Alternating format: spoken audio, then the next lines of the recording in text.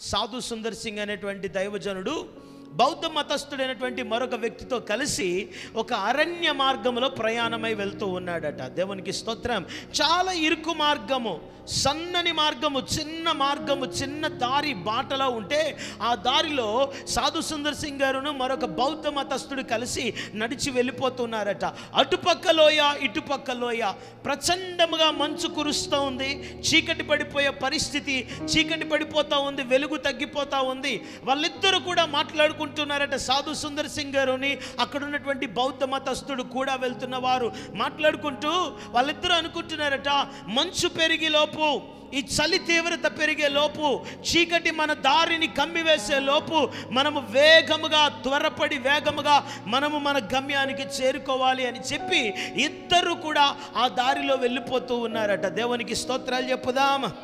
హలలుయా ఈ సాధు సుందర్ సింగ్ గారు ఎవరు అని అంటే ఏసై యొక్క మనస్సు కలిగిన వ్యక్తి ఆయన. దేవునికి స్తోత్రం. ఏసు యొక్క హృదయం కలిగిన ఆయన. దేవునికి స్తోత్రాలు చెప్పుదాం. దేవునిని యథార్థముగా ఆరాధిస్తూ క్రీస్తు యొక్క నియమమును తన జీవితంలో కలిగి ఉన్నటువంటి వ్యక్తి ఈ సాధు సుందర్ సింగ్ గారు. అయితే వాళ్ళిద్దరూ ప్రయాణమై వాళ్ళిద్దరూ బయలుదేరి వెళ్తూ ఉంటేనట దారి మధ్యలోనికి వచ్చేసరికి ఆ ప్రక్క నుండి ఎవరో మూలుగుతున్నట్టుగా ఎవరో కేకలు పెడుతున్నట్టుగా ఎవరో ఏడుస్తున్నట్టుగా దుఃఖపడుతూ సహాయాన్ని కోరుకుంటున్నట్టుగా ఒక శబ్దము వీళ్ళిద్దరికీ వినిపించిందట. దేవునికి స్తోత్రాలు చెప్పదాం. హలలుయా ఎప్పుడైతే ఆ స్వరం వినిపించిందో ఎవరో అపాయంలో ఉన్నారు ఎవరో సహాయాన్ని కోరుతున్నారు ఎవరో భయంకరమైన బాధలో ఉన్నారు ఈ స్వరం ఎక్కడి నుండి వస్తుందా అని చెప్పి తేరు చూసేసరికి ప్రక్కనున్నటువంటి ఆ పది అడుగుల లోయలో ఒక వ్యక్తి దెబ్బలు తగిలి మంచులో కూరుకొని పోయినటువంటి పరిస్థితిలో మరణపు అంచుల వరకు వెళ్ళిపోయిన స్థితిలో సహాయం చేయమని ఏడుస్తున్నాడట. దేవునికి స్తోత్రాలు చెప్పుదాం. ప్రక్కనున్నటువంటి వ్యక్తి సాధు సుందర్ సింగ్తో అన్నాడట ఇదిగో సోదరా మనం ఆలస్యం చేస్తే మంచు పెరిగిపోద్ది చలి పెరిగిపోద్ది చీకటి పెరిగిపోద్ది. మనం చేరుకోవాల్సినటువంటి మన గమ్యానికి మనం చేరుకోలేం. కాబట్టి ఏడ్చేవాడిని యాడ్ని ఆడెలాగా పడిపోయాడు చనిపోతాడు కదా మన దారిన మనం వెళ్ళిపోదామని చెప్పి ప్రక్కనున్నటువంటి వ్యక్తి ఈ సాధు సుందర్ సింగ్ గారిని కూడా విడిచిపెట్టి వచ్చేయమని చెప్పి ప్రలోభ పెడుతున్నాడట. స్తోత్రాలు చెప్పండి. హల్లెలూయా. ఎప్పుడైతే ప్రక్కనున్న వ్యక్తి అలా ప్రలోభ పెడుతున్నాడో సాధు సుందర్ సింగ్ గారి మనసుకు కూడా ఒక ఆలోచన వచ్చిందట. కరెక్టే కదా? మంచు పెరిగిపోద్ది కదా? చీకటి దగ్గర పడుతుంది కదా? చలి పెరిగిపోతుంది కదా? ఇక దారి కనిపించదేమో. త్వర త్వరగా త్వర త్వరగా వెళ్ళిపోవాలి అనే ఆలోచన ఆయనకి సాధు సుందర్ సింగ్ గారు కూడా వస్తూ ఉంటే దేవుని ఆత్మస్వరం వినబడుతుందట. నీ శరీర నియమాన్ని నెరవేరుస్తావా? లేకపోతే క్రీస్తు యొక్క నియమమును నువ్వు నెరవేరుస్తావా? నీ శరీరం చెప్పినట్టుగా చేస్తావా? లేదంటే క్రీస్తు యొక్క ముద్రలను కలిగిన వాడవై నా మనస్సు నా హృదయం ఏ విధంగా కోరుకుంటుందో అలా చేస్తావా అని చెప్పి దేవుని ఆత్మ ఎప్పుడైతే సాధు సుందర్ సింగ్ గారిని దర్శించిందో వెంటనే ఆయన అన్నాడట పక్కనున్నటువంటి సహచరుడితో అన్నాడట సోదరా మనం ఆ మరణపాయంలో ఉన్నటువంటి వ్యక్తిని అలా విడిచిపెట్టి వెళ్ళిపోకూడదు. ఎలాగైనా రక్షించాలి అన్నాడట. దేవునికి స్తోత్రం. హల్లెలూయా. ప్రక్కనున్న బౌద్ధ మతస్థుడు అన్నాడట అయితే నీకు నువ్వు రక్షించాలనుకుంటే రక్షించుకో. నేను మాత్రం నా దారిని నేను వెళ్ళిపోతున్నానని. ఆ దారిలో ఆ ఇరుకు బాటలో పరుగు పెట్టుకుంటూ పరుగు పెట్టుకుంటూ వెళ్ళిపోయాడు. స్తోత్రం చెప్పండి. సాధు సుందర్ సింగ్ గారు ఒకరి భారమును ఒకరు భరించాలి కదా అనేటువంటి క్రీస్తు నియమం కలిగి ఆ పదడుగుల లోయలోనికి కిందకు దిగి ఆ లోయలో పడిపోయిన వ్యక్తిని మంచులో కూరుకున్న వ్యక్తిని ఆ మంచు గడ్డలన్నింటినీ తొలగించి తన భుజముల మీద మోసుకుంటూ ఆ లోయ పైకి వచ్చి మరలా ఆ బాటలో ఆ దెబ్బలు తగిలిన వ్యక్తిని భుజం మీద వేసుకుంటూ వెళ్ళిపోతున్నాడట. దేవునికి స్తోత్రాలు చెప్పదాం. హలేలుయా ఎంత గొప్ప మనసు ఒకరి భారాన్ని ఒకరు మ- భరించాలి అనేటువంటి క్రీస్తు యొక్క నియమమునకు నిదర్శనంగా సాధు సుందర్ సింగ్ అనేటువంటి ఈ దైవజనుని యొక్క జీవితాన్ని మనం చూడగలుగుతున్నాం. ఎప్పుడైతే లోయలో పడిన వ్యక్తిని భుజం మీద వేసుకుని వెళ్ళిపోతూ ఉన్నాడో భుజం మీద వేసుకుని వెళ్ళిపోతూ ఉన్నాడో కొంత దూరం వెళ్ళేసరికి మరలా ఎవరో కేకలు పెడుతున్నట్టు మరలా ఎవరో మూలుగుతున్నట్టు మరలా ఎవరో సహాయం కోసం అర్జిస్తున్నట్టుగా వినబడి ఆగి చూస్తే ఆగి చూస్తే భయంకరమైనటువంటి దట్టమైన మంచు పిల్లల క్రిందన ముందు పరిగెత్తుకొని వెళ్ళిపోయిన బౌద్ధ మతస్థుడు ఆ ఆ మంచు పిల్లల కిందన కూరుకొని పోయి హలేలుయ కొన ఊపిరితో కొన ఊపిరితో హలేలుయా మూలుగుతూ మూలుగుతూ మూలుగుతూ సరిగ్గా సాధు సుందర్ సింగర్ చూసేసరికి వెంటనే ఆ క్షణాన్న ప్రాణాన్ని విడిచిపెట్టేశాడట. భారము లేని జీవితాన్ని జీవిస్తూ క్రీస్తు నియమాన్ని నెరవేర్చలేకుండా ఒకరి పట్ల ఒకరికి శ్రద్ధ లేకుండా ఏదో సంపాదిద్దాంలే ఏదో ఏదో ఏదో దాచుకుందాం ఏదో పొందుకుందాం ఏదో కూర్చుకుందాం అనే తత్వంతో నీ సాటి మనిషిని నీ తోటి విశ్వాసకి సహకరించకుండా బలపరచకుండా ప్రేమ చూపించకుండా నువ్వు ఏదో చేయటానికి ముందుకు పరుగెత్తుకొని వెళ్ళిపోయి సాధించేది ఏముందో? ఇప్పుడు విన్న మాటలను బట్టి నీవు ఆలోచన చేసుకోవాలి. దేవునికి స్తోత్రాలు చెప్పుదాం. గలతి సంఘానికి పౌలు నేర్పిస్తున్నాడు. సంఘ బిడ్డలతో పౌలు మాట్లాడుతున్నాడు. ఏమనంటే మీరు క్రీస్తు నియమమును నెరవేర్చండి. స్వార్థాలతో కక్షలతో విభేదాలతో వితర్కాలతో వితండమైన వాదనలతో నాకెందుకు నా బ్రతుకు నేను బ్రతుకుతానన్నట్టుగా మీరు జీవించడానికి వీలు లేదు. నువ్వు క్రీస్తు నియమమును నెరవేర్చాలని సంఘాన్ని అపోస్తులైనటువంటి పౌలు హెచ్చరిస్తూ ఉన్నాడు. దేవునికి స్తోత్రాలు చెప్పుదాం.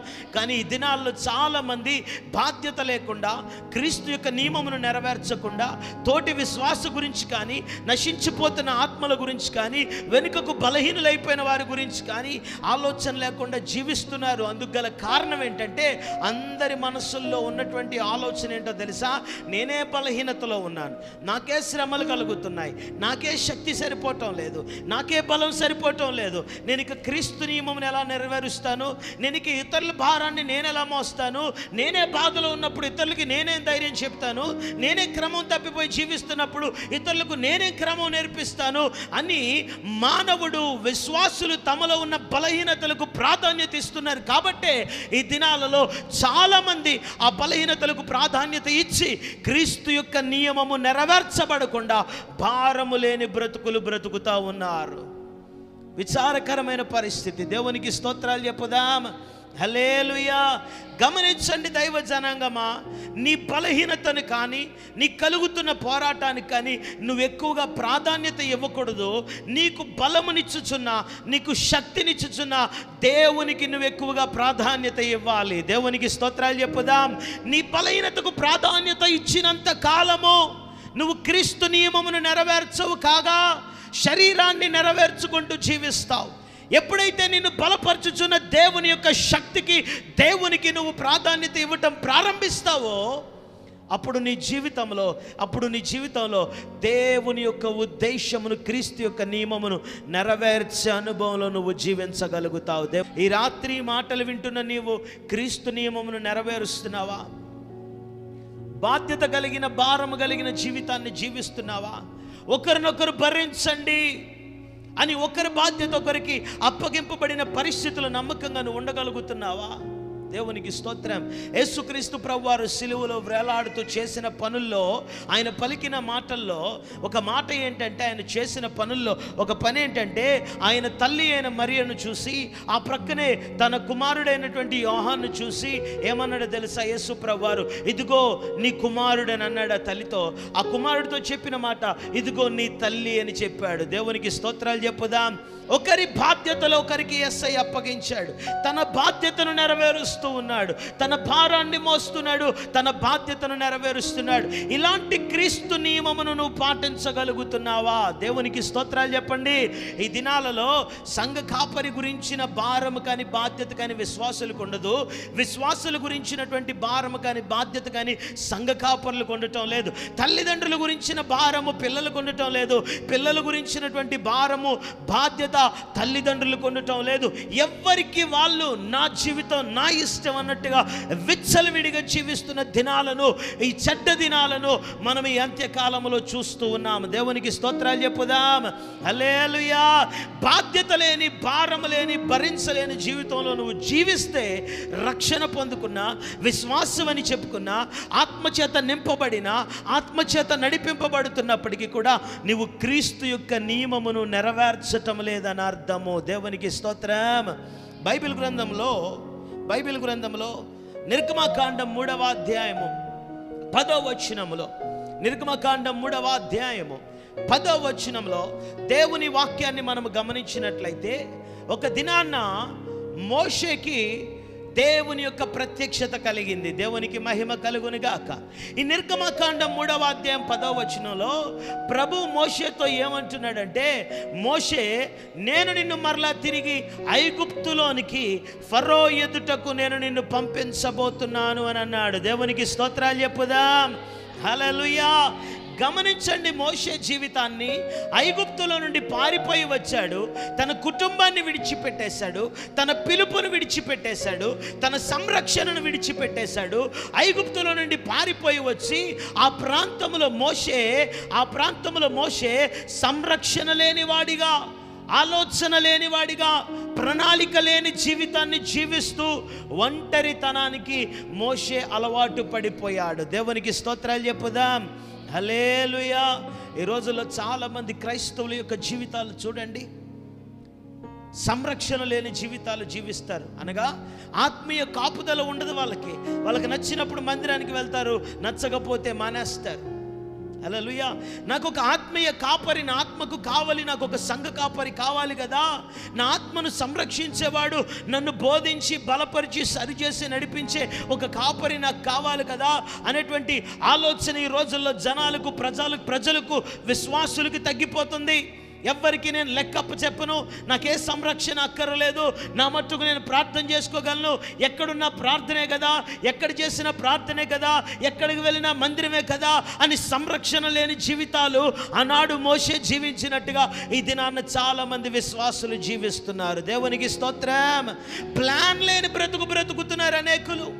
ప్రణాళిక లేని జీవితాన్ని జీవిస్తున్నారు. మోషే దేవుని ప్రణాళికను విడిచిపెట్టిన వాడై పారిపోయి ఐగుప్తులో నుండి బయటకు వచ్చేసి ఏ ప్రణాళిక లేకుండా ఒక న్యూట్రల్ లైఫ్కి నామకార్థ జీవితానికి మోషే అలవాటు పడిపోయాడు. దేవునికి స్తోత్రాలు చెప్పండి.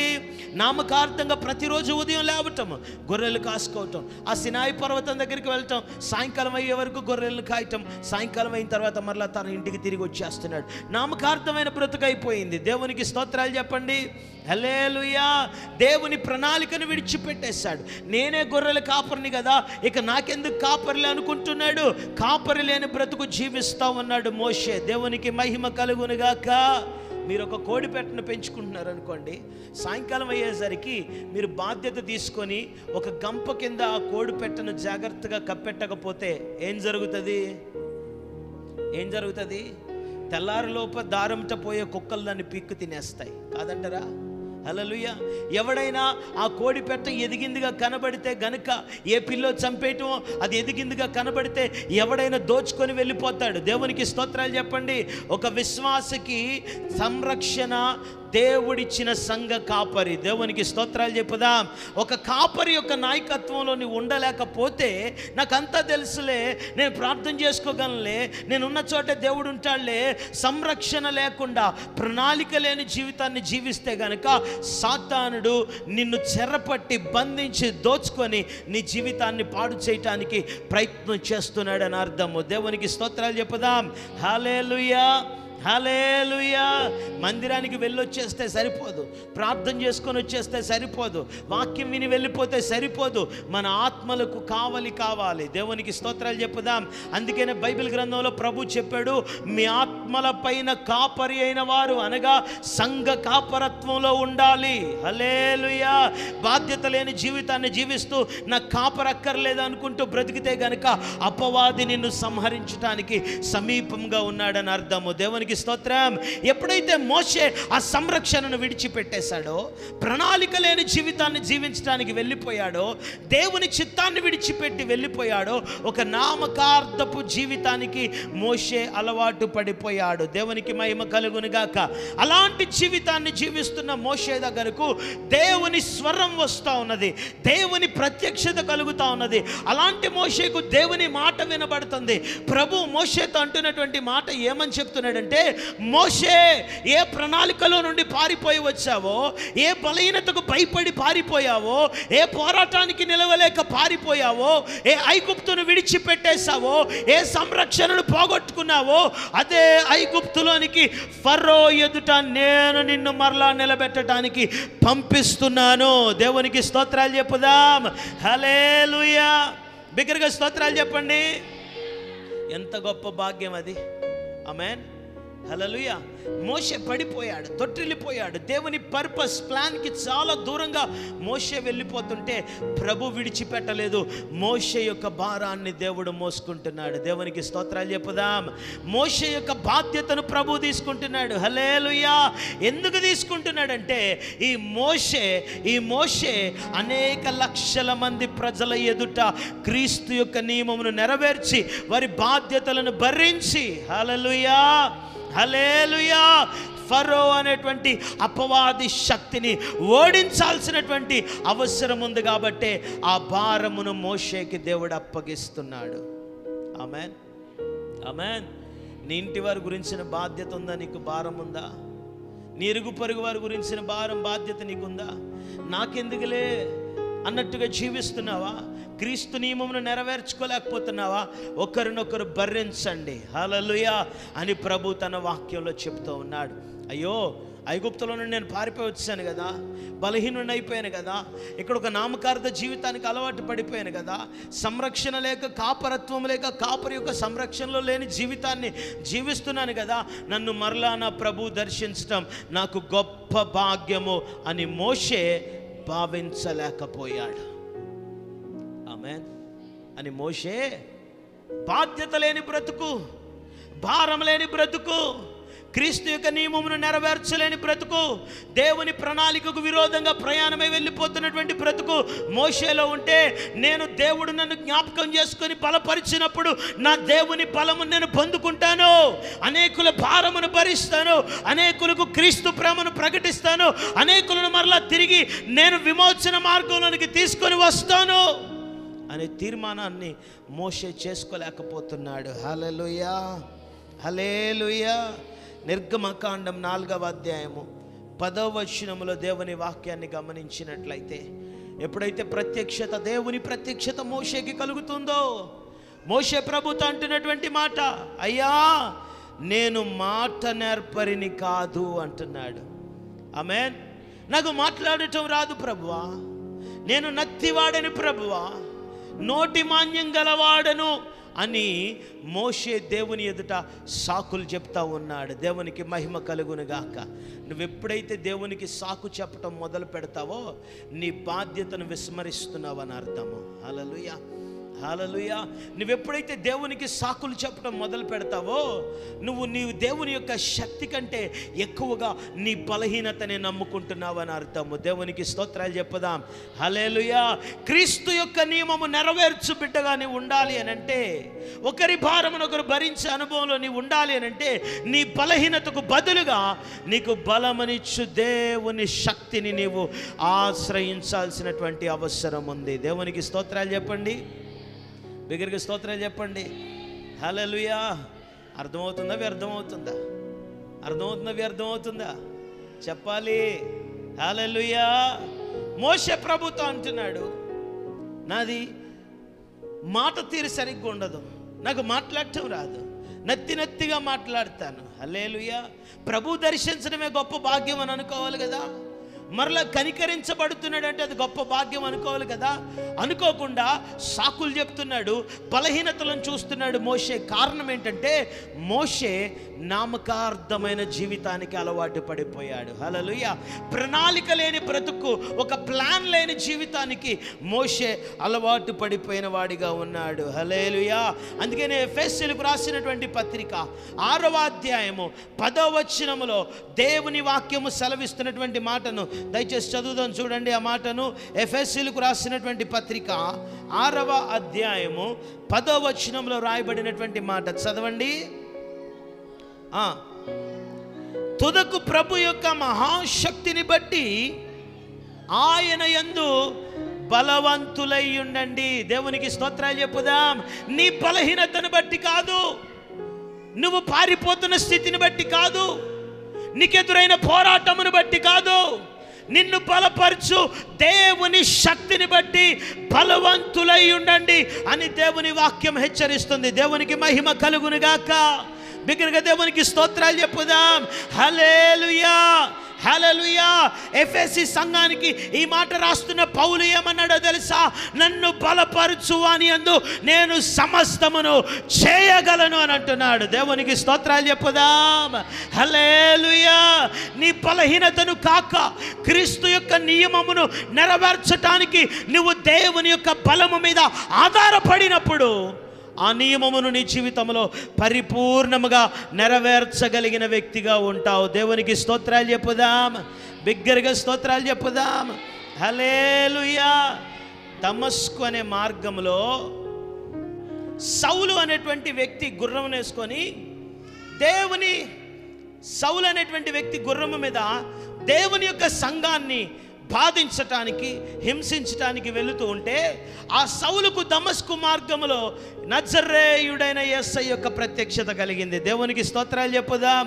హలలుయా హింసకుడు దూషకుడు హానికరుడైనటువంటి సౌలు కఠినాత్ముడు వెళ్తూ ఉంటే ఏసై యొక్క ప్రత్యక్షత సౌలుకు కలిగింది. దేవునికి మహిమ కలుగును గాక. వెంటనే సౌలు పౌలుగా మార్చబడిపోయాడు. దేవునికి స్తోత్రాలు చెప్పుదాం. మార్చబడిపోయి సౌలు యొక్క కనులు గుడ్డివైపోయి గుర్రం మీద నుండి కింద పడిపోయి ఎవరు నువ్వు? అని ఆ ప్రచండమైన ప్రకాశిస్తున్న వెలుగును చూస్తూ ప్రశ్నిస్తే ఆ వెలుగులో నుండి నజరేయుడైన యస్సు పౌలుతో మాట్లాడి పౌలు యొక్క జీవితానికి ఒక గొప్ప ప్రణాళికని ఇచ్చాడు దేవునికి స్తోత్రాలు చెప్పుదాం. హల్లెలూయా! నేను నిన్ను మార్చి నేను నిన్ను అనేకుల ఎదుట సాక్షిగా నిలబెట్టబోతున్నాను. నువ్వు అన్య జనుల ఎదుట వెలుగుగా ఉండి అనేకుల ఎదుట నా నామమును నువ్వు భరించబోతున్నావు అని అపోస్తులైన పౌలుకు తండ్రి అయిన దేవుడు నజరేయుడని యేసు ఒక ప్రణాళికనిచ్చాడు దేవునికి స్తోత్రాలు చెప్పండి. బిగ్గరగా స్తోత్రాలు చెప్పండి.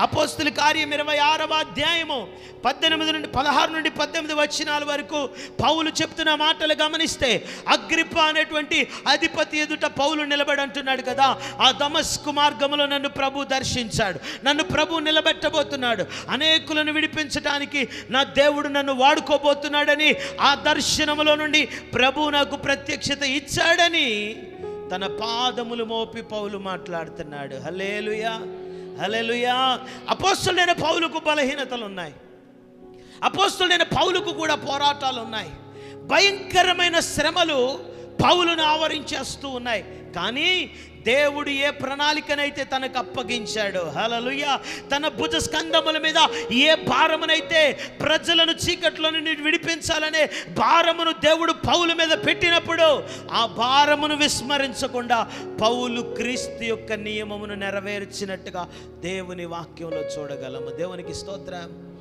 కానీ మోషేతో దేవుడు ఐగుప్తులోనికి వెళ్ళాలి నేను పంపిస్తున్నానంటే మోషేతో దేవుడే మోషే దేవునితో ఏమంటున్నాడు తెలుసా? నేను నత్తివాడిని ప్రవ్వా నాకు మాట్లాడటం రాదు ప్రవ్వా. అలా వెళ్ళిన అనుభవం నాకు లేదు అలా చేసిన అనుభవం నాకు లేదు. ఏదో వచ్చి నా బ్రతుకు నేను బ్రతుకుతున్నాను కదా నా భక్తి నేను చేస్తున్నాను కదా నా జీవితం నా మట్టుకు నేను జీవిస్తున్నాను కదా నన్ను ఇలా బ్రతకనివ్వు ప్రవ్వా. వెళ్ళటం నా వలన కాదు అని అంటున్నాడు. దేవునికి స్తోత్రాలు చెప్పుదాం. హలలుయా నిర్గమకాండం నాలుగవ అధ్యాయము పదవ వచనంలో మోషే బలహీనతలను చూస్తున్నప్పుడు మోషే సాకులను వెతుక్కుంటున్నప్పుడు దేవుని నియమము నెరవేర్చకుండా భారం లేని జీవితానికి మోషే తనను తాను అప్పగించుకుంటున్నప్పుడు పదకొండవ వచనంలో ప్రభు మోసేని ప్రశ్నిస్తున్నాడు మోషే మాట్లాడుటకు శక్తినిచ్చిన వాడెవడు? కుంటివాడు నడవటానికి శక్తి ఇచ్చేదెవడు?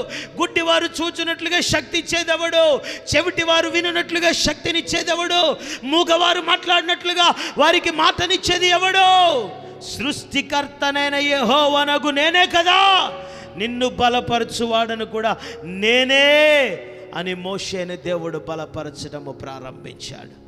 హలలుయా హలలుయా ఎప్పుడైతే ఈ సత్యాన్ని బలహీనతలను విడిచిపెట్టి దేవుని శక్తిని మోసే చూడటం ప్రారంభించాడో దేవుని శక్తి వలన మోసే బలము పొందుకోవటం ప్రారంభించాడో లేచి ఆ సినాయి పర్వతం మీద నుండి బయలుదేరి తిరిగి ఐగుప్తులోనికి ప్రయాణమై వెళ్తున్నాడు. దేవునికి మహిమ కలుగునుగాక ఫరో ఎదుట నిలబడటానికి వెళ్తున్నాడు. ఆశ్చర్య కార్యాలు జరిగిస్తూ తన దేవుని నామము గనపరచబడటానికి అనేక లక్షల మంది బానిసత్వములో చెర్ర పట్టబడి బంధించబడిన స్థితిలో ఉన్న వారిని విడిపించటానికి. మోషే లేచి ప్రయాణమై వెళ్తున్నాడు. అంటే అంటే దేవుని నియమమును దేవుని భారమును ఒకరినొకరు భరించేటువంటి ఆ నియమమును మోషే తన భుజముల మీద ఎత్తుకున్నాడు. దేవునికి స్తోత్రాలు చెప్పుదాం. బిగ్గరగా స్తోత్రాలు చెప్పండి. హలే లుయా హలలుయా ఈ రాత్రి వాక్యం వింటున్న నువ్వు గ్రహించాల్సిన విషయం ఏంటంటే నువ్వు చూడాల్సింది బలహీనతలను కాదు. ఆమెన్.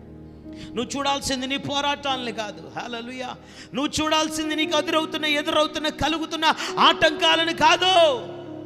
ఒక ప్రణాళిక కలిగిన జీవితాన్ని జీవించటానికి. హలేలుయా నీలో క్రీస్తు యొక్క నియమము నెరవేర్చబడటానికి శరీర నియమములన్నిటినీ ప్రక్కన పెట్టినటువంటి బిడ్డవాయి ఒకరినొకరు భరిస్తూ ఒకరి భారం ఒకరు కలిగి జీవించే అనుభవంలోనికి నువ్వు రావాలనే ఈ రాత్రి ప్రభు నిన్ను తన వాక్యం చేత దర్శిస్తున్నాడు. హలేలుయా నీవు తీసుకోవాల్సిన నియమం ఏంటో నిర్ణయం ఏంటో తెలుసా? రక్షణలో వెనక్కి దిగజారిపోతున్న వారు దేవునితో చేసుకున్న తీర్మానముల నిబంధనలు స్థిరంగా నిలవలేకపోతున్న వారు ప్రార్థన జీవితంలో వెనక్కి పడిపోతున్న వారు దేవుని కోసము బహుబలంగా వాడబడాల్సినటువంటి ఆ గొప్ప ప్రణాళిక కలిగి కూడా బంధకాలలో ఇరుక్కుంటున్నటువంటి ప్రజలు ప్రభు యొక్క రక్షణను తృణీకరించి తిరిగి లోకంలోనికి వెళ్ళిపోతున్న వారు. నీకు ఎదురైనప్పుడు అలాంటి వారి విషయమై నిర్లక్ష్యంగా ఉండకుండా వారి బాధ్యతను నువ్వు భరించాలి. దేవునికి స్తోత్రాలు చెప్పుదాం. వారి బాధ్యతను నువ్వు భరించడము ప్రారంభించాలి. హలేలుయా నువ్వు తీర్మానించుకొని నువ్వు దేవుని శక్తిని ఆశ్రయించడం ప్రారంభించి నీ బలహీనతలను నువ్వు ప్రక్కన పెడితే గనక ప్రభువు నిన్ను బలపరిచి నీ ద్వారా ఆశ్చర్య కార్యాలు జరిగించు దేవుడై ఉన్నాడు ఆయన హలలుయ్య ఇంకొక మాట చెప్పి నేను ముగిస్తాను. రెండో రాజుల గ్రంథం ఏడవ అధ్యాయంలో వినండి. షమ్రోను అనేటువంటి ప్రాంతంలో కరువు వచ్చిందట. ఏమొచ్చింది? ఏమొచ్చింది? ఎంత భయంకరమైన కరువు అంటే అరపావు పావు రెట్ట కొనుక్కొని తింటున్నారట. గాడిద తలకాయలు తింటున్నారట. దేవునికి స్తోత్రాలు చెప్పండి. హలేలుయా తలకాయ మాంసం తిన్నట్టుగా తినేస్తున్నారు గాడి తలకాయలు. దేవునికి స్తోత్రాలు చెప్పుదాం. పావురపు రెక్కలు కొనుక్కొని తినేస్తున్నారు. అంటే అర్థం చేసుకోండి చంటి పిల్లల్ని చంపేసి వాళ్ళ శరీరాలను కూడా తినేస్తున్నారు. ఎంత భయంకరమైన కరువు సంభవించిందో చూడండి. దేవునికి స్తోత్రాలు చెప్పుదాం. అప్పుడట ఆ షమ్రోను అనే ప్రాంతంలో అంత ఘోరమైన కరువు వచ్చినప్పుడు రెండో రాజుల గ్రంథం ఏడవ అధ్యాయము గమనించినట్లయితే అక్కడ నలుగురు కుష్టి రోగులు ఉన్నారట. స్తోత్రం చెప్పండి. ఎవరున్నారు? చెప్పాలి. ఎవరున్నారు? నలుగురు కుష్ఠరోగుల్లో ఎంతమందికి కుష్టుంది నలుగురు కుష్ఠరోగుల్లో ఎంతమందికి కుష్టుంది అందరికీ కుష్టుంది దేవునికి స్తోత్రం. అంటే ఒక మాటలో చెప్పాలంటే ఎవడ బాధ ఆడు పడుతున్నాడు అక్కడ. అల్లెలుయ్య ఎవడ కడుపు ఆడికి కాలిపోతూ ఉంది. ఎవడ మీద ఉండాల్సిన బాధ్యత వాడికి ఉంది. స్తోత్రాలు చెప్పుదాం. అయితే ఆ నలుగురు కుష్ఠరోగులు కూడా రెండవ రాజుల గ్రంథం ఏడవ అధ్యాయం ఐదవ వచనంలో వాళ్ళు ఏమనుకున్నారంటే ఒకరితో ఒకరు మాట్లాడుకున్నారట. ఒకరితో ఒకరు ఏమనంటే ఒరే అందరూ చచ్చిపోతున్నారు కదరా. పావురు బ్రెడ్ తినేస్తున్నారు గాడి తలగాయలు తినేస్తున్నారు. ఇక మనకేం దొరుకుతుంది? ఈ రోజు నిన్ను తినేస్తాను రేపు ఆండి తినేస్తాను ఎల్లుండి ఇంకొకటి తినేస్తాను. ఒకడినొకడు పీక్ తినేద్దామని చెప్పి మాట్లాడుకోలేదు వాళ్ళు. వాళ్ళు ఏమనుకున్నారో తెలుసా? ఐదవ వచనంలో మనం ఇక్కడున్న కరువులో చచ్చిపోతున్నాం. అటు శత్రు సామ్రాజ్యంలోనికి వెళ్ళినా చచ్చిపోతాం. ఎక్కడున్నా? ప్రాణం పోయే పరిస్థితే మనది. అలలుయా ఇక్కడున్నా మన బాధ తీరటం లేదు. అటు వెళ్ళినా మన బాధ తీరదు. ఇక్కడున్నా మనకి ప్రయోజనం లేదు. అటు వెళ్ళినా మనకి ప్రయోజనం లేదు. దేవునికి స్తోత్రాలు చెప్పుదాం. ఈ కుష్టి రోగంతో ఈ బలహీనతతో పైగా దెబ్బ మీద దెబ్బ తగిలినట్టుగా ఈ కుష్టి రోగంతో పాటు భయంకరమైనటువంటి కరువు. చచ్చిపోయే చావేదో శత్రువుల చేతిలో చచ్చిపోదాం రా. వెళితే అక్కడ ఏమైనా దొరికితే ఒక ముద్ద తిని చనిపోదాం రా అని ఒకడినొకడు బలపరుచుకున్నారట. స్తోత్రాలు చెప్పండి. హలోయ ఇప్పుడు ప్లాన్ ఒకడికి వచ్చినప్పుడు అందరు నిద్రపోతున్నప్పుడు రాత్రి గడి సైలెంట్గా వెళ్ళిపోయి చేస్తే బాగానే ఉంటుంది. అంతేనా? అలా చేస్తే వాడు బాధ్యత లేనివాడని అర్థము. వాడు భారం లేనివాడని అర్థము. హల్లెలూయా. నియమము లేని బ్రతుకు బ్రతుకుతున్నాడని అర్థము. దేవునికి స్తోత్రం. వాడికి వచ్చిన ఆలోచన ఇంకొక వ్యక్తికి పంచుకున్నాడు? ఆ ఇద్దరు కలిపి మూడో వాడికి ఆ ముగ్గురు కలిపి నాలుగో వాడికి. అలాగా ఒకరి భారాన్ని ఒకరు భరించుకోవటం మొదలుపెట్టి ఆ రోజు రాత్రి ఆ రోజు రాత్రి ఈ నలుగురు కుష్టి రోగులు కూడా దేవునికి స్తోత్రాలు చెప్పుదాం. ఈడ్చుకుంట ఈడ్చుకుంట ఈడ్చుకుంట సిరియనుల దండుపేట శత్రువు యొక్క సైన్యం ఎక్కడుందో అక్కడ ఏమైనా దొరుకుతుందేమో అని సిరియనుల దండుపేటలోనికి వెళ్ళటం మొదలు పెట్టారు దేవునికి స్తోత్రాలు చెప్పండి. ప్రభు ఎంత గొప్పవాడో తెలుసా? ఎప్పుడైతే ఈ నలుగురు కుష్టి రోగులు వారి బలహీనతలను చూడకుండా అల్లెలుయ్యా ఏదో ఒకటి చేద్దాం అని ఒక్కరి భారాన్ని ఒకరు మోసుకొని బాధ్యత తీసుకొని ఒకరినొకరు భరించుకుంటూ నలుగురు ఈడ్చుకుంటూ వెళ్తుంటే ఒక దేశమంతా వెనకాతల కరువు ఒక దేశమంతా అలమటిస్తుంది. దేవునికి స్తోత్రాలు చెప్పుదాం. కానీ నలుగురు కుష్టి రోగులు వారి బలహీనతలను పక్కన పెట్టి ఒకరినొకరు భరించుకుంటూ బాధ్యత కలిగి ఒకరి భారాన్ని ఒకడు మోస్తూ ముందుకెళ్ళటం మొదలు పెట్టినప్పుడు రెండో రాజుల గ్రంథం ఏడవ అధ్యాయం ఆరో వచనంలో కుష్టి రోగులు వెళ్తుంటేనట కుష్టి రోగులు వెళ్తుంటేనట ఆ శత్రువులకు గుర్రాలు రథాలు వెళ్తున్న శబ్దం వినబడేటట్టుగా దేవుడు చేశాడట. దేవునికి స్తోత్రాలు చెప్పుదాం. ఏం వినబడేటట్టుగా చేశాడు ప్రభువు ప్రచండమైన వేగముతో గుర్రాలు రథాలు తరుముకొని వస్తున్న శబ్దం వినబడ్డట్టుగా ప్రభు చేస్తే ఆ రాత్రి రాత్రి సిరియనులు అనబడేటువంటి శత్రువులు ఆ దండుపేటనంతటిని విడిచిపెట్టి వారి స్థావరాలను విడిచిపెట్టి వారి ప్రాణాలు అపాయంలో ఉన్నాయేమో అన్న భయంతో ఆ ప్రాంతాన్ని విడిచిపెట్టి పారిపోయారని దేవుని వాక్యం సెలవిస్తా ఉంది. హలేలుయ హలెలుయ హలేలుయ గమనించండి నలుగురు కుష్టి రోగులు. నాకు ఈ రోగం ఉంది కదా నాకు ఈ బాధ ఉంది కదా నేను నడవలేను కదా నేను ఒక్కడనే వెళ్ళాలనే స్వార్థం కానీ కరువే కదా పోనీ ఇక్కడే చచ్చిపోదాంలే అని వారి బలహీనతలను చూడకుండా ముందుకు ఒకరి భారాన్ని ఒకరు మోస్తూ వెళ్ళిన కుష్టి రోగులు. దేవునికి స్తోత్రాలు చెప్పండి. స్తోత్రం చెప్పండి. ఒకవేళ నీ ఇంటి వారు ఎవరైనా బలహీనంగా ఉంటే వాళ్ళ భారాన్ని నీ భుజస్కంధాల మీదకు నువ్వు తీసుకోవాలి. హల్లెలూయా. నీ సంఘంలో బలహీనమైన వారు ఉంటే వారి భారమును నీ భుజస్కంధాల మీద నువ్వు తీసుకోవాలి.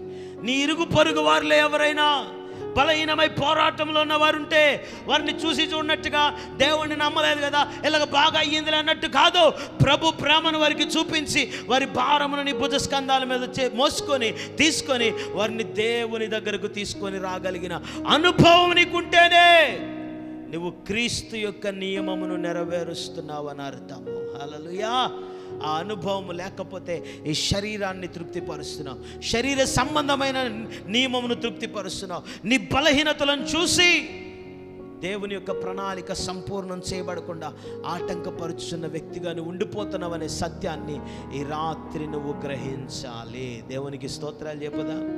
అలేలుయా గలతీ సంఘానికి పౌలు నేర్పిస్తున్న విషయం. అరే బ్రతుకుతున్నావు అన్నట్టు బ్రతకండిరా. ఏదో బ్రతికేసేవాళ్ళు అన్నట్టుగా బ్రతికేకండి.